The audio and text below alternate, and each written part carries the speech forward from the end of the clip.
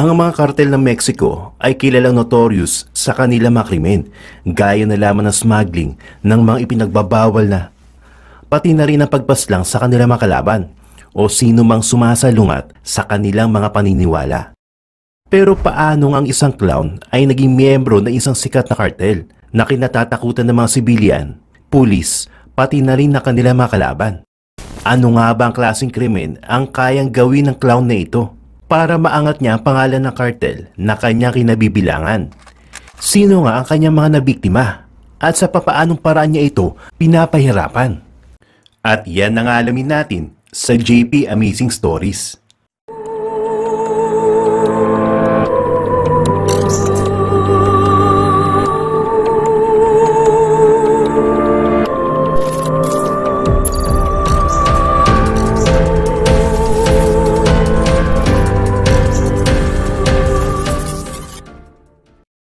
Payaso o clown, ito ang mga karakter na kilalang entertainer tuwing may mga birthday party, lalo na sa mga bata. Sila ay mga taong nagtatago sa likod ng mga maskara o makeup na gumagawa ng mga magic tricks o di kaya naman ng iba-ibang kalokohan para lamang mapasaya ang mga batang manonood.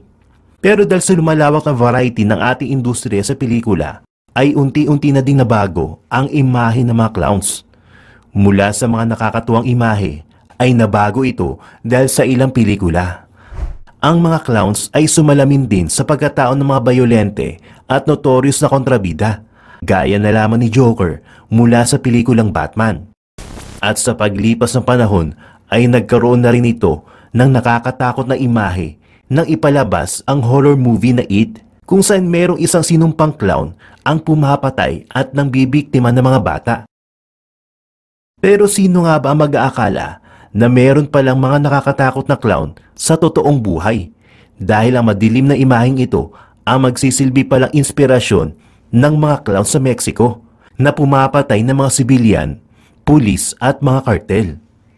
Ang Jalisco New Generation Cartel o ang tinatawag na CJNG ay isang kilala at kilabot na kartel mula sa bansang Mexico. Ito ay nagahari sa kanilang lugar ng mahigit na sa sampung taon. Sila ang kilalang mas brutal na kalaban ng Sinaloa Cartel, pati na rin ang grupo ni Pablo Escobar na Medellin Cartel. At isa sa mga dahilan kung bakit kinatatakutan ang grupong CJNG ay dahil sa isang kakaibang grupo nito na tinatawag nilang Killer Clowns. Ang CJNG ay pinamumunuan ni Nemesio o Siguera Cervantes o mas kilala sa tawag na El Mencho. Siya ay pinanganak noong July 1960 sa bansang Mexico mula sa mahirap na pamilya na kumukuha lamang ng pagkakitaan mula sa mga tanim nilang avocado. Noong 1980s ay illegal niyang pinasok ang Amerika para mamuhay. Pero dahil sa dami na kanyang mga nagawang krimen doon, ay mabilis din siyang na-deport pabalik ng Mexico. At dahil sanay na sa paggawa ng krimen, at sa kagustuhan magkapera sa pamamagitan ng mabilis at illegal na paraan ay sumali siya sa Milenio Cartel. Pero ang cartel na ito ay mahina na kaya naman agad itong nabuwag at ito ang naging dahilan ni El Mencho para magtayo ng sarili niyang cartel. Kaya naman noong 2009 ay binuo niya ang Los Torcidos na may kahulugang The Twisted Ones na di nagtagal ay napalitan ng pangalang CJNG. Bayolente at agresibo ang pag-iisip na nakalakihan ni Elmencho. Kaya naman pinaglaanan niya ng pondo ang mga high-powered na rifles, granada, sasakyan at mga tangke para maggamit ng kanyang mga tauhan. Lantaran din nila ipinakita sa media ang kanilang military army na armado na mga nagtataas ang kalibre ng baril. Kaya naman hindi maiwasan na katakutan sila ng mga pulis, sibilyan, pati na rin ng iba pang kartel at isang patunay na kanilang tapang at bayulente pag-iisip ay nang pabagsakin nila ang isang military helicopter gamit ang kanilang rocket-propelled grenade. Ang CJNG ay walang pakialam sa buhay ng mga tao. Lahat ay kanilang gagawin upang makapaghasik ng kasamaan sa kanilang lipunan at para ipabatid sa mga tao na sila na ang namumuno sa kanilang lugar. Pero si El Mencho ay laging gutom sa kapangyarihan Kaya naman hindi siya titigil na mas lalong palakihin at palakasin ang kanyang nasasakupan sa pamamagitan ng pagre-recruit sa mga taong may pinakamalala at marahas sa pag-iisip.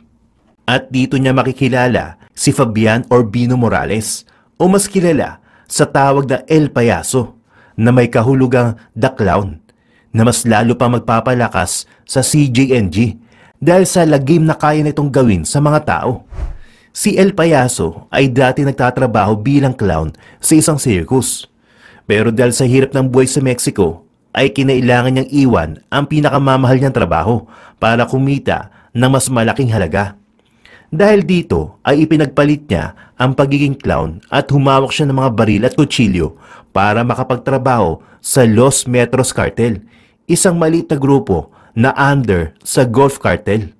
Dahil sa kanya angking kasamaan, ay mabilis na tumaas ang ranggo ni El Payaso sa cartel na kanyang kinabibilangan. Dahil na rin sa kanyang bayolente pag-iisip na lalo pa nagpataas sa standard ng mga krimen. At kasama kanyang sariling grupo, habang sila ay nakasuot ng maskara bilang clown, ay sinuyod nila ang Mexico upang tugisin ang mga miyembro ng kalaban nilang kartel. Kilala si El Payaso na sinusunog ng buhay ang kanyang mga kalaban gamit ang mga drum ng gasolina. At minsan naman ay kinakaladgad niya sa kotse ang kanyang mga biktima hanggang sa malagutan ito ng hininga. At dahil sa pamamaraan niyang ito ay napahangan niya si El Mencho dahilan upang magtiwala ito sa kanya hanggang sa tuluyan ng sumanib ang kabuuan ng Los Metros Cartel sa CJNG.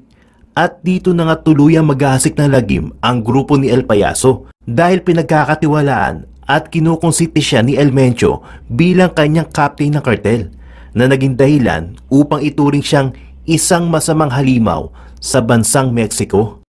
Pagkatapos nito ay lantaran na nilang ipinapakita sa video ang kanilang maskara at mga baril at walang pakundangan nilang pinapatay ang mga taong sumasalungat sa kanilang paniniwala, maging pulisman ito o sibilyan. At sa paglipas ng panahon ay pinatunayan nga ni El Payaso ang kanyang katapatan sa CJNG sa pamamagitan ng isang krimen.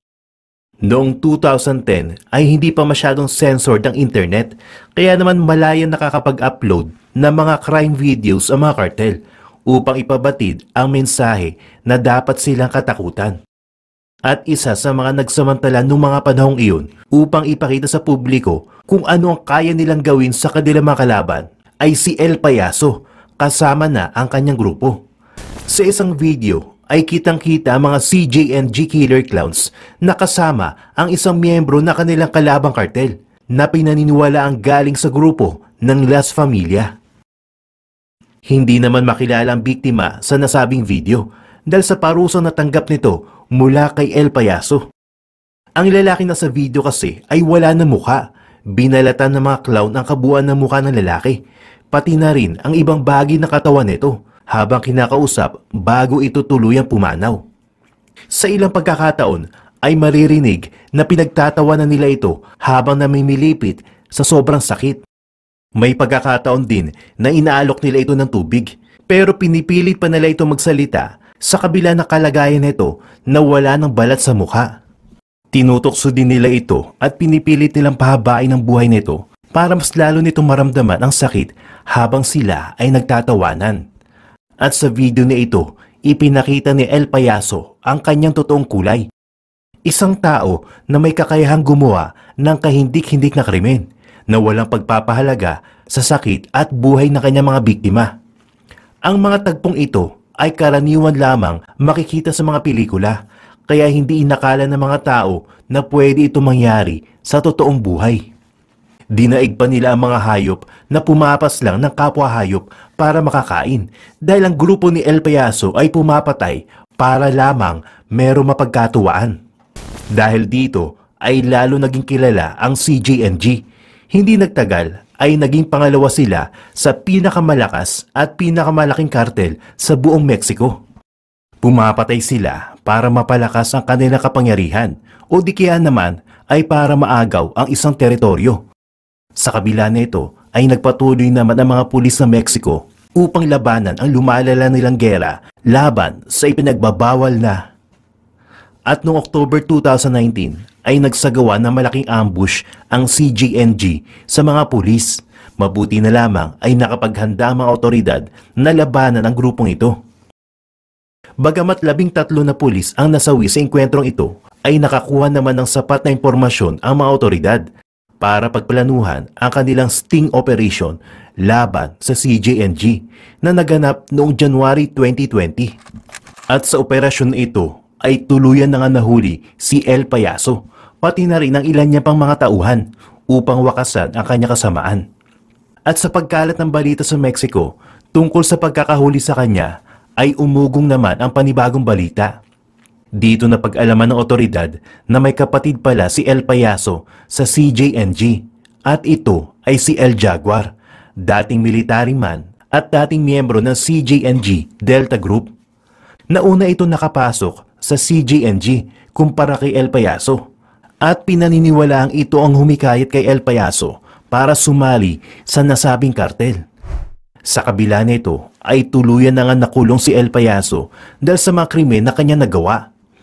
Dahil sa bigat na kanya mga kaso ay paniguradong hinding-hindi na siya makakalaya lalo na't imposible na rin siya mabigyan ng parol.